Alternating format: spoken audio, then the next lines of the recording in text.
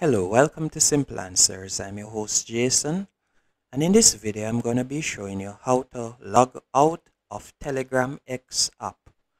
First, let's go into the app. Once in the app, you're going to tap on the three dashes in the top left hand corner. Next, you're going to tap on settings. Then you're going to tap on the three dots in the top right hand corner then you'll simply tap on log out and that's it. That will log you out of your telegram x account.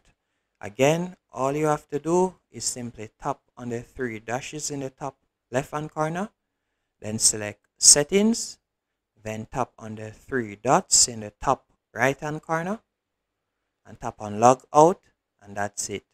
Hope you found this video helpful and informative on how to log out of Telegram X account. If you did, be sure to hit the like button and also subscribe. And thank you for watching.